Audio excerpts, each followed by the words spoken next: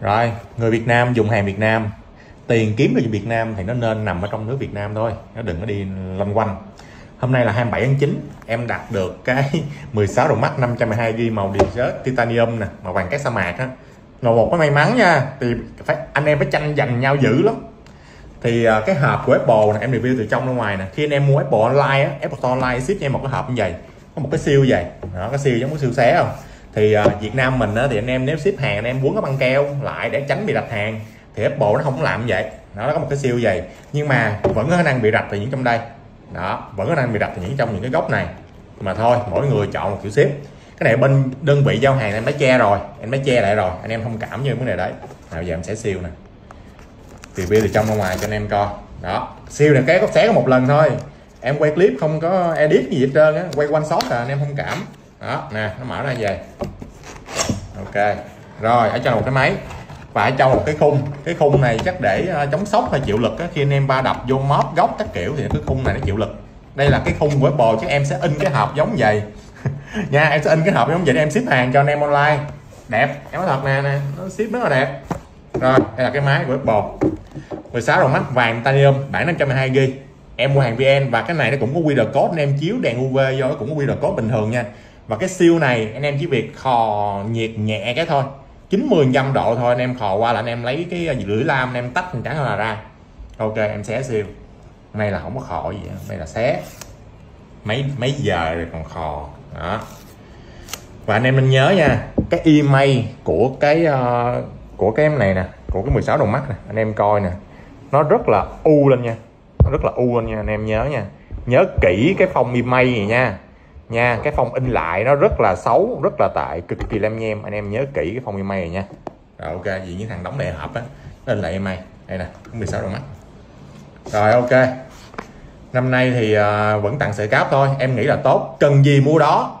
Chứ không phải là tặng đóng sạc cáp tai nghe đầu chuyển vân vân lắp lai may trong khi anh em chả cần. Năm ngoái mua xài chưa xong năm nay còn nguyên. Nên thấy là cần gì mua đó là hợp lý. Tặng sợi cáp là được rồi bảo vệ môi trường tới đời con đời cháu chúng mình tới iPhone 40 50 một đống phụ kiện là cái gì? Đây nè, cái màu vàng của nó nè. Ok, màu vàng này thì em thấy là màu vàng khá giống dòng 12 rồi, để em coi, để em kiếm máy thanh lý. Đây nè, cái 12 đầu mắt nè. À không 12 đầu mắt vàng khá là nhạt nha. Cái này thằng này nó vàng nó đậm hơn, mà có thiên hướng hơi hồng hồng thiên hướng hơi hồng hồng nha. Cái mặt lưng nè, còn mặt sườn nữa là nó là titanium rồi, nó không có so sánh với thiên sườn bóng được. Đó, hồi trước á, cái dòng 15 rồng mắt á, là nó phun kiểu phay xước. Anh em biết phay xước không? Có nghĩa là anh em rút ra rút vô túi quần, nó sẽ phay xước, nó sẽ nhìn nó đỡ xước, đúng không? Còn này đã phun kiểu phun nhám, nó không còn phay xước nữa. Nha, cái màu sườn này bây giờ là phun kiểu phun nhám nha, không còn phay xước nữa nha. Ok đấy, em thấy cái cái đúng là 16 đồng mắt là chiếc iPhone tốt nhất từ đó đến nay. So với IG 3G 13 12 14 15 thì nó là chiếc iPhone tốt nhất từ đó đến nay. Chỉ nó không thay đổi nhiều thiết kế thôi. Để em so một chiếc mắt đây. Đây nè. Ít mắt thì lại đậm hơn. 12 đồng mắt thì nhạt hơn mà ít mắt đậm hơn nha.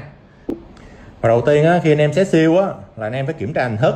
Nhớ nha thứ nhất là anh em lau máy nè, anh em coi nó có bị cứng, móp, trầy xước bất kỳ một cái vết nào không. Bởi vì những cái máy mà xuất xưởng ra, nó có tỷ lệ bị trầy nhâm cứng, vỏ, vân vân. Thì Apple sẽ không hủy những cái cây đấy. Em mình nhớ nha, Apple không bao giờ hủy bỏ một cây máy bởi vì hình thức đưa vô remanufacture tái chế lại không có đâu. Vẫn bán ra thôi. Nên anh em kiểm tra kỹ lưỡng, hình thức ok thì anh em lấy còn anh em lấy anh em không lấy, trả về cho ví dụ AEA đúng không đại lý hệ thống không, thì nó vẫn đóng siêu lại, nó bán tiếp thôi. Em nói thật, chứ không ai đi dục hết á. Anh em mới yên tâm cái này đấy, em thề luôn, miễn anh em đừng kích hoạt. Rồi, thứ hai nữa, anh em kiểm tra trong máy có nhiều bụi không? Là anh em nhìn cái trong cái camera là có nhiều bụi không? Phần lớn là cây nào cũng có bụi hết á. Anh em soi kính hiển vi là 10 cây hết 10 cây cũng có bụi hết, nhưng mà ít hay nhiều thôi. Vì cái môi trường lắp ráp không phải là môi trường vô trùng, vô khuẩn, chân không hoàn toàn nó vẫn có bụi bay trong không khí, ví dụ nồng độ anh em lọc máy lọc không khí nó không không một, thì nó vẫn có một. Chứ không phải là không không không nha. Anh em lọc máy lọc không khí cũng thế thôi, nó vẫn có bay trong không khí, nó vẫn có bám vô trong cái bụi camera, anh em phải chấp nhận cái này đấy. Không có khó khăn như thế được. Và sau khi anh em soi hình thức xong hình thức máy anh em kiểm tra à màn hình có bị điểm chết, chấm gì hay không, camera bụi hay không, rồi có bị trầy xước, cứng móc gì không á, thì anh em tiếp theo anh em mở màn hình lên giùm em. Anh em coi cái serial number hoặc là cái email này nè anh em check trên trang chủ của Apple á support của Apple á. Anh em coi là cái email này đã kích hoạt hay chưa và cái email này có trùng với là cái hộp hay không. Em hình dung không? Nè nó có trùng với cái hộp hay không? Rồi nó chỉ đơn giản thôi tới đây là anh em xong rồi. Nếu anh em thấy ok hết bóp phạt hết ngon lành hết sạc cáp ôi zin à, không có dấu vân tay trong máy kiểu không có ai mở ra từ trước ok. Bắt đầu anh em mặt ti lên anh em dùng. Còn 16 đầu mắt năm nay á, khác nhau cái gì? Thứ nhất là anh em nhìn dễ nhận thấy nhất luôn nha là cái màn hình. Cái về màn hình nó rất là mỏng rất là mỏng. Nhưng mà có cái ưu là cho khả năng nhìn có vẻ nó nổi hơn và tràn viền nhìn nó đẹp hơn. Tuy nhiên là khi anh em cầm nắm á, thì cái da thịt của mình á, nó dễ chạm vào cái phần cảm ứng. Thì nhiều lúc là anh em đang coi tiktok chẳng hạn có phải là anh em khi chạm vào nó bị sang tua hay ít không? Nó bị sang nhanh hơn không? Bị tua nhanh hơn không? Thì cái này cũng là cái ưu cái nhược thì em sẽ sử dụng rồi em test lại sau. Nhưng mà cảm giác là em cầm vô em thấy cái thịt cái thịt của mình dễ dính hơn rồi đó. Em đang nói xài trần nha, đừng nói này xài ốp nha. Cái bản chất thiết kế đầu tiên là như thế. Đừng có nói là à xài ốp nó dày hơn thì cầm nó không trúng. Cái đó là vấn đề khác của anh em rồi. Cái thứ hai nữa là vẫn giữ lại thiết kế viên thuốc. Thì em nói thật luôn là thợ em cũng không thích cái viên thuốc này. Em thích tay thỏ hơn. Vì khi tay thỏ thì có phải là cái cái viền này nó tràn, cái phần hiển thị nó tràn về cạnh viền không? Cái phần nhỏ nhỏ này đâu hiển thị được gì đâu anh em mình vô cái phần nhỏ nhỏ này nó chả hiển thị được cái gì mà em coi được hình ảnh trong đây nó thà nó ép gì hết. Nhưng mà bây giờ giới hạn công nghệ nó ép gì hết thì cái loa để đâu. Thành ra cái Face ID và cái cụm camera trước nó phải dịch xuống chiếu. Thứ nhất là gì? Để nhận diện thương hiệu. Cái thứ hai là giới hạn phần cứng. Đó là phải chấp nhận. Cái thứ ba là những cái tính năng trên cái uh, máy này nó cũng tương tự thôi. Thêm một cái nút làm nhìn vô thấy liền. Em không nói màu sắc nhưng nhìn nó liền cái nút. Thì bản chất cái nút này nè em thật luôn nha, là nó quá gượng gạo. Quá gượng gạo, chỉ để mở camera thôi. Ví dụ cái tay nghe, cái tay của anh em là hình vuông vậy, anh em để vậy là nó là nó nó chặt nhất đúng không? Thì có phải khi anh em bấm vậy nó không tới không? Khi tay rất là to nha. Tay em rất là to nha. Em cao hơn mét tám lần, thành ra cầm cái tay này vô, em thấy nó với cỡ nào cũng không tới rồi. Không tới. Thành ra nếu muốn với tới là anh em phải để vô, tựa vô đây. Anh em cầm về và anh em bấm về. Thì có phải là vẫn che phần hình không? Và dễ chạm phần cảm ứng không? Em hình dung mấy em không? Thì bấm cái nút này nó khá bất tiện. Trong khi mở camera nó có rất nhiều cách rất nhiều cách. Ví dụ như là này em có một cái 15 lăm mắt nè. À, em cho anh em mượn nè. Ví dụ một là anh em vuốt từ trên xuống nè. Đó anh em mở camera ở trong cái thanh uh, trung tâm điều khiển của anh em. Hai là giờ em thử nè. À, em bấm cái nút này nè. Một phát một. Ủa nó cũng mở camera được vậy? Anh em mình dung không? Cũng mở được. Nè hoặc là em giờ em mở gõ hai lần nè. Em vuốt ngang qua một cái là là nó cũng mở được camera đúng chưa? Mở camera hoặc là em tắt hai lần, em không vuốt ngang, em bấm dưới đây. Cũng mở được camera. Chưa hết nha, em mở hai lần. Ok nha, em bấm gõ hai lần mặt lưng. Cũng mở được camera, cái cảm ứng mặt sau á. Thì có nghĩa là một cái camera nó có rất rất nhiều cách để mở rồi. Không nhất thiết là phải đưa cho một cái nút mà phải với mới bấm được. Ví dụ giờ gì em cầm vậy đi. Nè, em cầm vậy đúng không? Em bấm nút này cũng mở được camera vậy. Xong quay ngang. Xong rồi khúc đó em vô có điều chỉnh cái phần mềm camera em điều chỉnh đúng một cái shot ảnh ưng ý của em á. Bắt đầu mới bấm cái tắt á. Thì khi cái yếu điểm của cái cái nút bấm này là gì anh em biết không? Khi em bấm camera em bấm vậy nè thì khi cái tay anh em chạm nó sẽ có độ rung. Thì có phải là hình ảnh của anh em á, nó rất bị nhòe. Thành ra khi anh em chạm vậy nè chạm vậy nè anh em chụp á nó khó nhòe. Hoặc là anh em đặt hẹn giờ sau 3 giây rồi chụp. Đó để anh em bắt đầu anh em nguyên đám nguyên tim bắt đầu xe hai cái thì khi mà anh em đưa cái đây anh bấm là sẽ bị giật. Anh em mình dùng một cái lực mình bấm á, thì trong một khoảnh khắc thôi camera sẽ bị giật nhẹ xuống. Nó dễ rung hơn khó gồng tay nữa mà cho camera nó chuẩn được.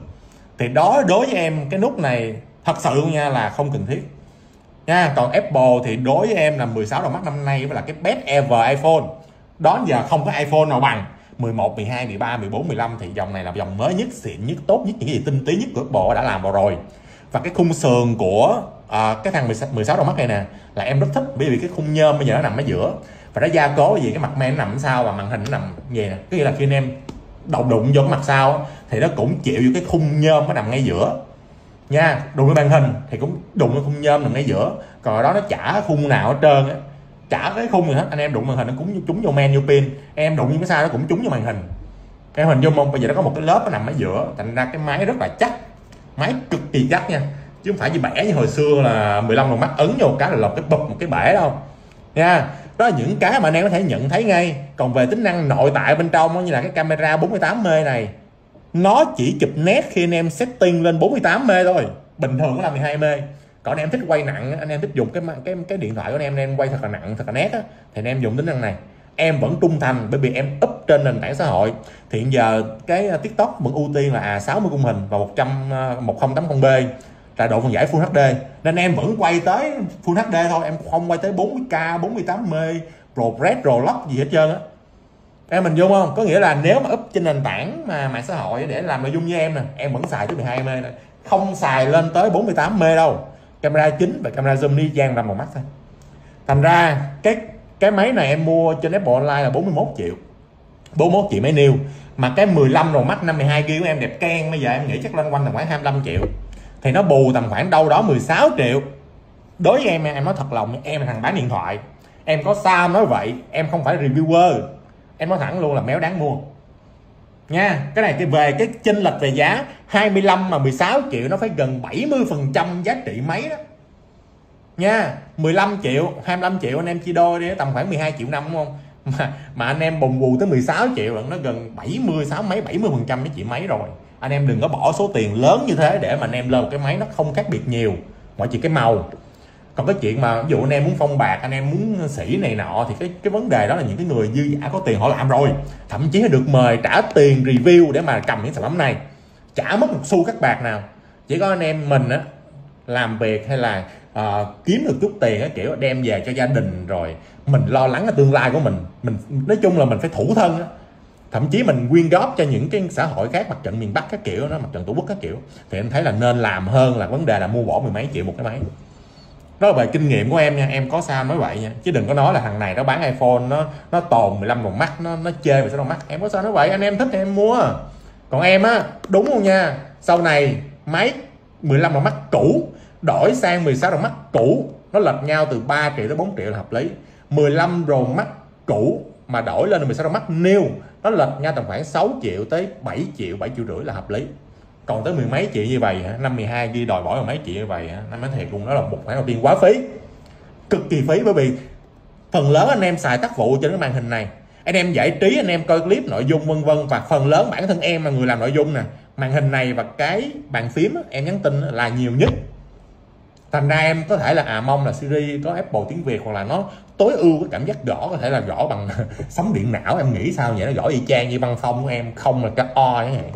Có nghĩa là khi mà em muốn là nó nó đẩy nhanh cái tốc độ gõ à, văn bản của em lên bằng cái thuật toán AI của nó thì em thấy thích hơn. Là mấy cái vụ AI mà hả tàu lao mới lao mà tỷ năm nó lô ra vọc một lần. Rồi chốt lại. 16 Pro Max vẫn rất đáng mua nhưng mà mua với giá nào? Nha và nó là iPhone có thời lượng pin lâu nhất tốt nhất từ đó tới nay và vỏ titan thì bọc titan ở ngoài độn nhôm ở trong. Nó được cái này mà mất cái kia.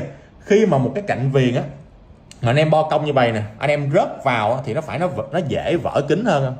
Em mình dung không? Ví dụ nó nó, nó đưa ra như cùi chỏ nó đưa như cùi chỏ vậy rớt vào đúng không? Nó bén đúng không? Nè kỹ như cái 12 đầu mắt nè. Đó anh em rớt vào thì có phải nó vô nó vô cái sườn thép trước không? Nhưng mà cái này nó rớt vào phát một nó dễ vào kính. Nên ra 15 đầu mắt. Cái mà em thích nhất là cái iOS 18 nó là cái thứ có thể là giúp em check va, check những cái máy mà đã sửa chữa, vân vân. Máy cũ, để từ từ, em lên cái clip iOS 18 em cực kỳ thích. Cái đó là công cụ của Apple, hồi đó mới có thôi, chạy dẫn đoán mà bây giờ người dùng có. Em cực kỳ thích.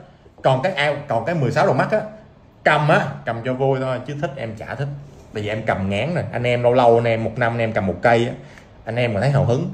Còn một năm em cầm cả vạn cây. Mà có một cái em cũng hơi thắc mắc nha. Ví dụ anh em móc điện thoại ra em móc nhanh. À, anh em bấm về. Anh em mở camera. Ok đúng không? Tay trái. Thì anh em bấm nút này. Hoặc là anh em bấm nút này. Ok để em mở camera. Vậy lúc mà anh em cầm tay phải thì sao? Bấm nút này thì cũng méo tới. Nút này không tới. Còn cái này bấm bằng gì? Bấm bằng thịt. Bằng thịt thì chịu thua bấm không được. Bấm bằng thịt bấm không được. Nên ra quay ngang qua bấm một cái. Thì nó hơi kỳ. Có nghĩa là nó làm cái nút quyết nhưng mà khi cái cái này là khu vực cầm nắm thì cái ngón tay út của mình hay ngón tay cái của mình chỉ cầm được những cái nút bên đây thôi. Em mình vô không? Cái vụ bấm trên đỉnh, bấm ở đâu á, là cái khúc ở trên thôi. Còn ở dưới là cái chỗ cầm mà. Chứ những cái iPhone 4 đó nó cầm lên mà nó bị cản sóng mà cầm khúc dưới mà. Nên anh em nói rồi, nếu anh em muốn mở camera nhanh phải cầm tay trái nha. Còn anh em nào thuận tay phải em, đụng cái là cầm tay phải, đụng cái cầm tay phải là không được. Và dành cho anh em thuận tay trái mới mở được camera nhanh đây rồi, thế nha.